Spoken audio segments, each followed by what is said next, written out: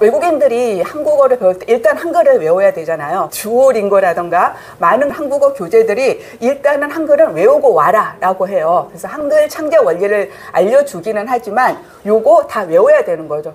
40개의 자모 음가를 외우는 게 쉽지 않습니다. 히라가나 가타카나 외우기 싫어서 일본어 안 배우는 사람이 있는 것처럼 요 한글 배우는 데서 좌절하는 외국인도 적지 않습니다.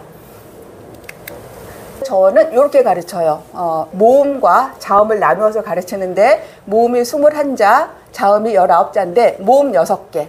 모음, 어, 자음 5개. 요게 핵심 모음과 자음이거든요. 요것만 알면 나머지는 쉽게 배울 수가 있어요. 그리고 요것도 쉽게 배- 배울 수가 있습니다.